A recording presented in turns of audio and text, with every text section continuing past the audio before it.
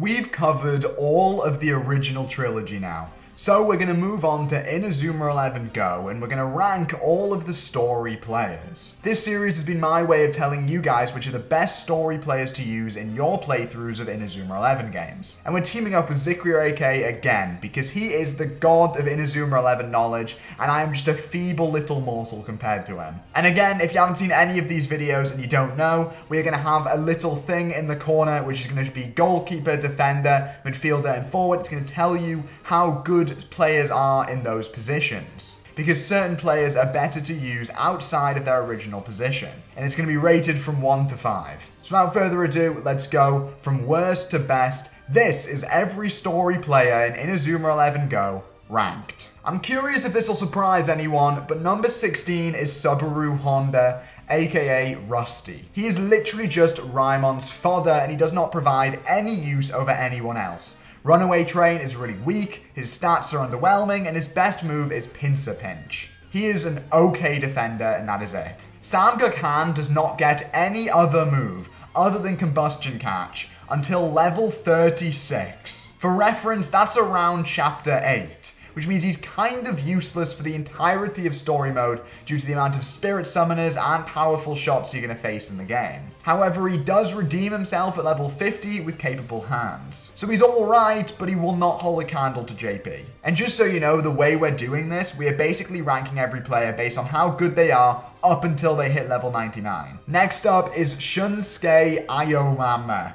That's a hell of a name, and it's one who I definitely forget about a lot and he just joins with Thief's Eye, making him pretty useless at first, he does level up quick and he gets Hey Presto and Emperor Penguin number 2, making him a solid all-rounder. On paper, Lucian Dark is fantastic. He has Emperor Penguin number 7 to rival Kaiser's Ballista Barrage, and he also has Warp Step, which is a fantastic dribble move, but his stats are absolutely garbage. He only has 72 kick, which is the second worst in the entire Raimon team. And 72 kick for someone with shooting moves?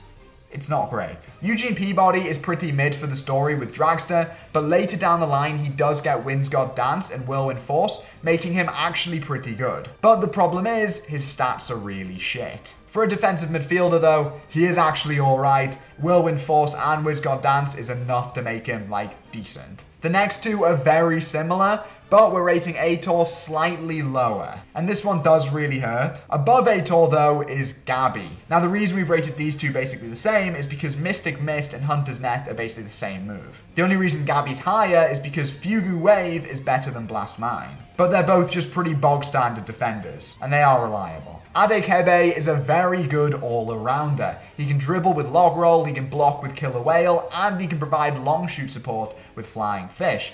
However, when you hit the post game, he is going to fall off because his moves are really weak and he doesn't have any real firepower. Okay, this name might be the hardest for me to pronounce, but I'm going to give it a go. Huyus ba Baudet. Sure, he's pretty useless when he joins, however when he starts getting his moves, he's basically Eugene Peabody with better stats. I mean he gets Ozone Flare, which is fantastic. If you're talking ultimate defender, it's Wanli Chang. He's a solid shot blocker throughout the majority of the story, but then he gets Wall of Atlantis in Chapter 10, which is basically the best defensive move in the game. And so yeah, he becomes pretty fantastic once he gets that. This is a sentence I never thought I'd say in my life, but Victor Blade is basically the Wanli Chang Cheng of forwards. And Victor Blade is basically just IE3 Axel again. He is essentially a shooting machine, and he can't do a whole lot other than just shoot. But for what it's worth, he does carry throughout the majority of the story because his shots are that good. But it feels weird rating a player that high when that's literally all he can do. Riccardo Di Rigo is basically a fusion of Arion and Victor. He's got Victor's striking power and most of Arion's dribbling power. Brimstone Rain and Maestro are really good for scoring, and Athena's Anthem is a fantastic dribble move. He is just great for everything. However, he's nowhere near as good as Michael Ballzack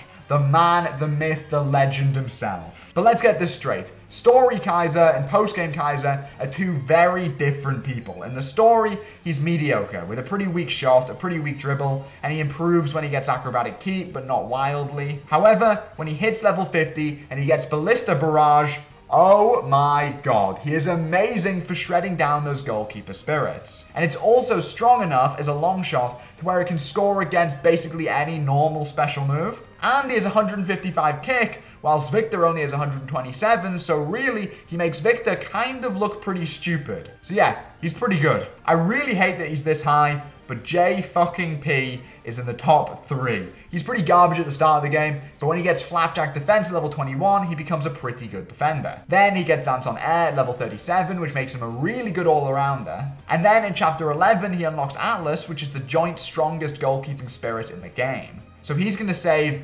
all kinds of powerful shots that come his way. And not to mention is the highest stat total and the fastest level up rate in the game. He is basically the ultimate all-arounder because he can also play in goal. I'm curious how many people thought this guy would be number one, but Arion Sherwind comes in second. He's got high stats. He's got spammy yet decent moves. He's got a strong fighting spirit. He's basically got it all. He's a really good offensive midfielder or a forward. And he can summon Griffin and completely blow through the post game with it. He's basically impossible to not recommend. And at number one, don't let the fact that he joins late in the story fool you.